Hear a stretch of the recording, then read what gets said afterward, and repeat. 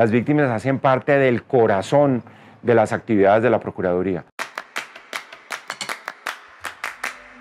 Durante mi administración se creó la Procuraduría Delegada de Víctimas y de Paz. Nosotros tenemos una gran presencia territorial y hemos actuado en todos los departamentos de Colombia, sobre todo en aquellos que tienen la mayor concentración de víctimas. Estamos vigilando permanentemente las acciones del Poder Ejecutivo en frente a todas las negligencias que se siguen cometiendo en función de la falta de reparación de los derechos de las víctimas. Hemos dicho que son tres los lemas fundamentales de este Ministerio Público.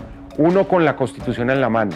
Nosotros en la Constitución de 1991 pudimos introducir el concepto de víctimas por primera vez en la historia constitucional de Colombia. Hemos dicho que es con el corazón al lado de las víctimas, con el corazón, con los recursos legales y con las acciones de la Procuraduría.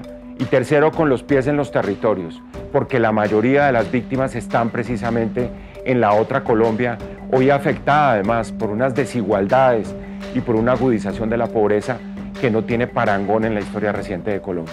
Cualquier inquietud, cualquier preocupación, queja, reclamo, por favor, contáctenos. A nuestra línea telefónica nacional 018-940-808 o en nuestra sede electrónica en www.procuraduría.gov.co.